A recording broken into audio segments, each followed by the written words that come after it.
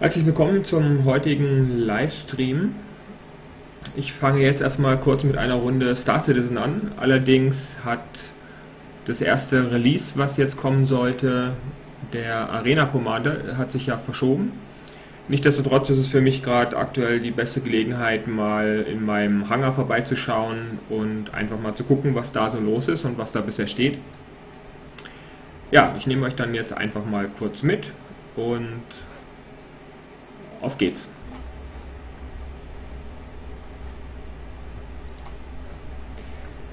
So, ich bin sozusagen hier gerade frisch in meinem Hangar angekommen. Hier ist mein einziges Schiff. Ich habe nur eine kleine RSI.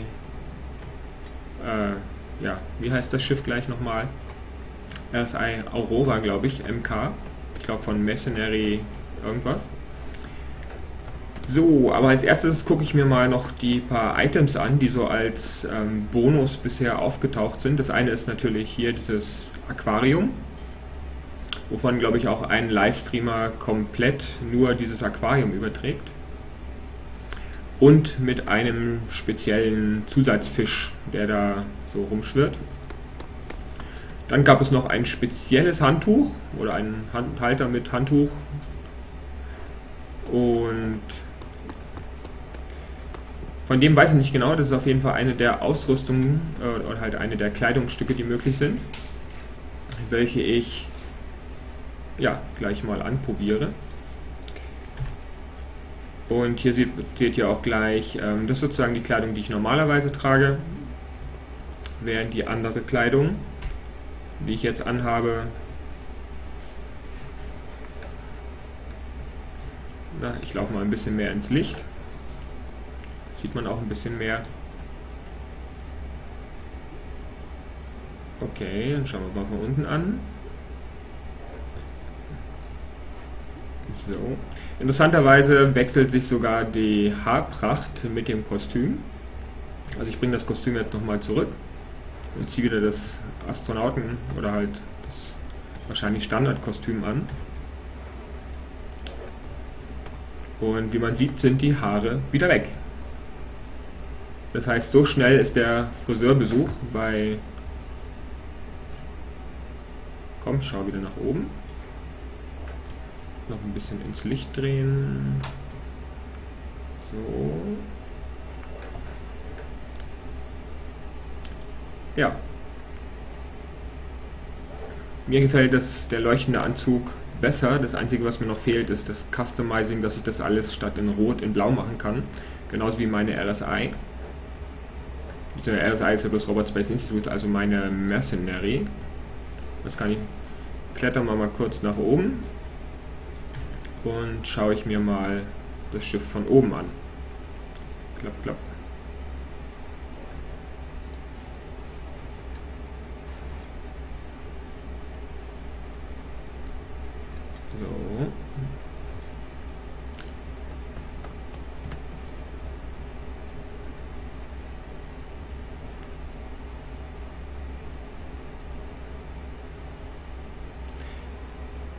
Der Anzug passt ja sowieso viel besser zu mir, nachdem ich selbst ja auch nicht mehr so viele Haare im Moment auf dem Kopf trage.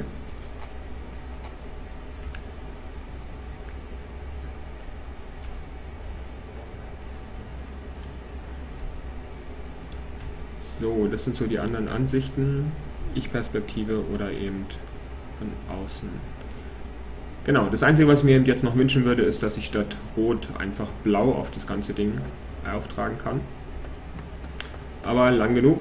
Jetzt schauen wir uns das Ganze mal von innen an. Soll ja eh bloß ein kurzer Ausflug sein und ich bin sehr gespannt, wenn sich die ersten spielbaren Elemente dann für das für die Arena ermöglichen. Nein, da ist gar keine Leiter. Komm wieder runter. So. Hangar Schiff auf.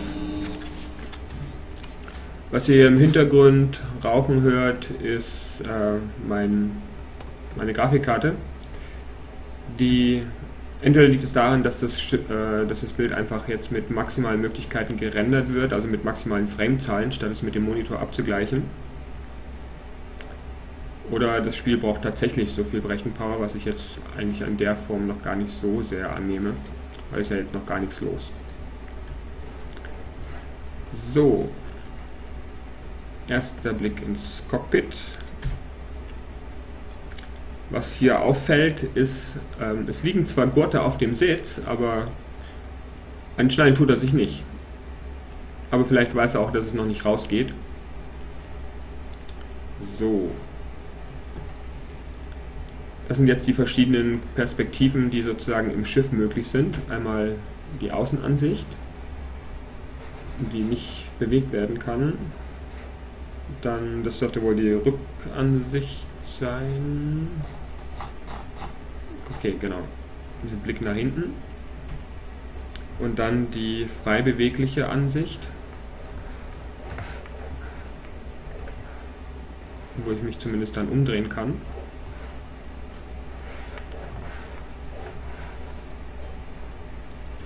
Aber sonst ist halt noch kein, nicht viele Aktionen möglich.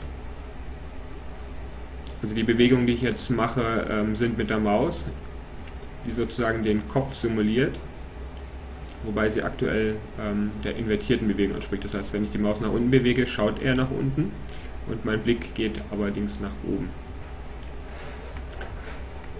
Die Bewegungen, die ich jetzt mache, sind ähm, wiederum mit der Maus, aber dadurch, dass ich jetzt die G-Taste gedrückt halte, ähm, reagiert der Charakter nicht, sondern ich bewege eigentlich nur die Kamera.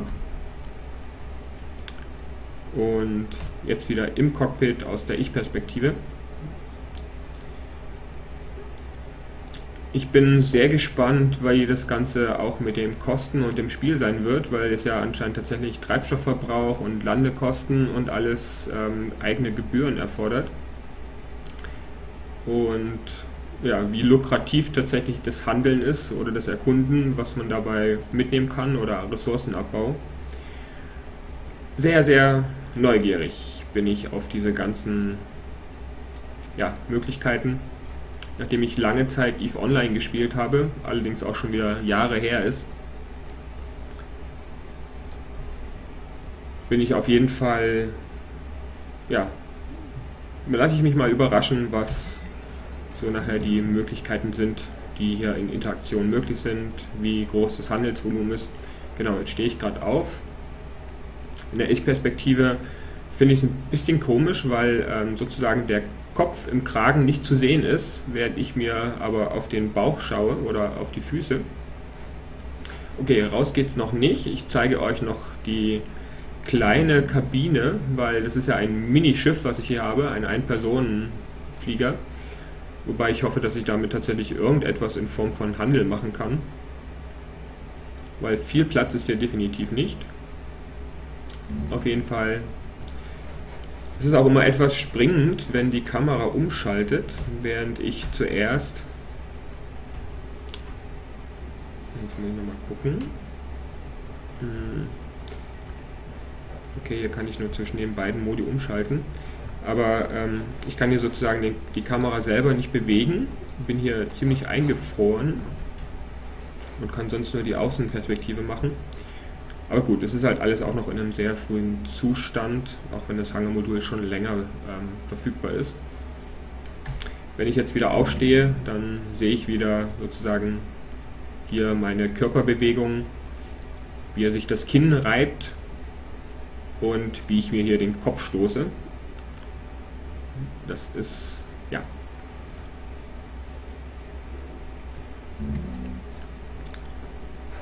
So, jetzt gehe ich zur anderen Seite raus. Ein paar kurze Soundanimationen und dann geht es. So, das eine, was ich hier noch aktivieren kann, sind ähm, Holo-Elemente die ich aber, ähm, soweit ich das bisher mitbekommen habe, die ich zumindest noch nicht rausgefunden habe, wie ich die steuern soll, weil die Tab-Taste, die dafür kommuniziert ist oder zumindest angegeben ist, macht kein... Ah, okay.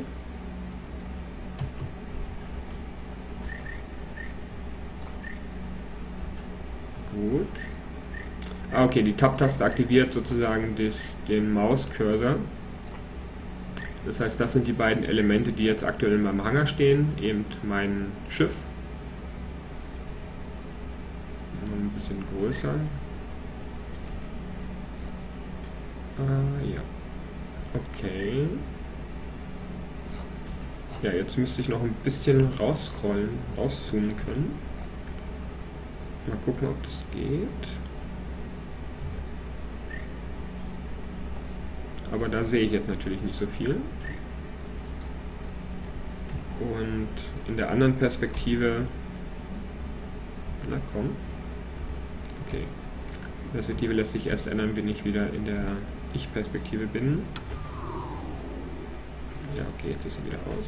Stellen wir uns ein bisschen anders hin, ein bisschen weiter weg. So, dann, dann sollte das funktionieren. Ja, genau, jetzt lässt sich Ah, das lässt sich also nur in einer bestimmten Entfernung auch aktivieren.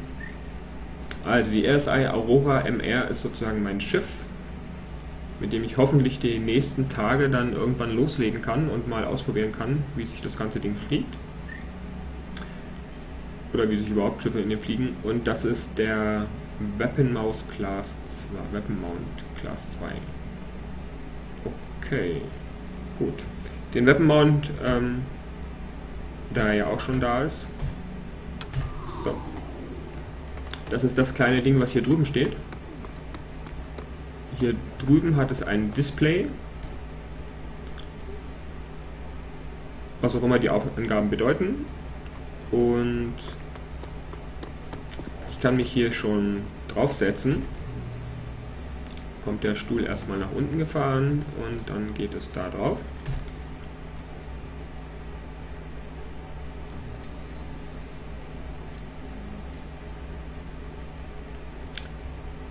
Da hinten bewegen sich dann auch ein paar Zielscheiben, aber mehr kann ich anscheinend jetzt auch noch nicht machen. Das heißt, Zielübungen hier zu absolvieren ist aktuell noch nicht möglich. So.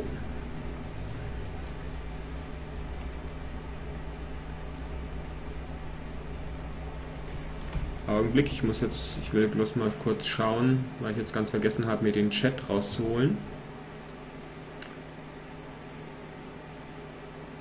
Okay. Sind jetzt keine weiteren Fragen erstmal gestellt worden. Ich hole mal gerade den Chat zur Seite. Okay.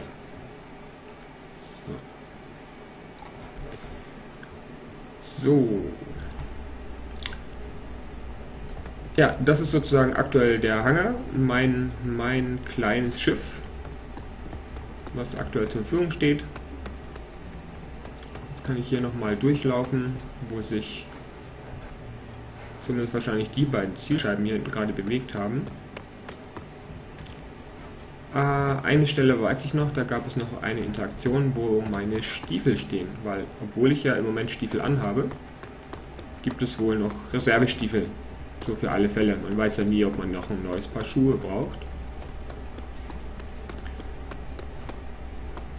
Und zwar hier. Allerdings ich werde viel lieber mal meine Waffe anlegen, aber irgendwie ja, geht das noch nicht. Und ich weiß gar nicht, sind das Schulterpolster? Wahrscheinlich sowas wie Waffengurte. Die aber alle eher zu der Ausrüstung zu passen scheinen. Außer natürlich die weißen Stiefel. Oder sind es Stiefel in Stiefeln? Schwer zu sagen.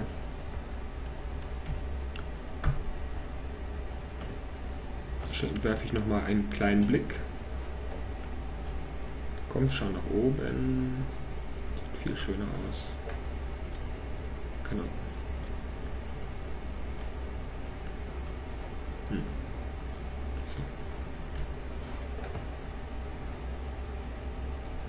Ja, also es wird spannend, bald den ersten spielbaren Content dann von Star Citizens sehen zu können. Und ich beende erstmal wieder diese Live-Übertragung und werde in Kürze wieder Banished spielen und versuchen dort den ersten den, das erste, den ersten Erfolg zu erreichen. So, vielen Dank fürs Zuschauen und bis später. Tschüss.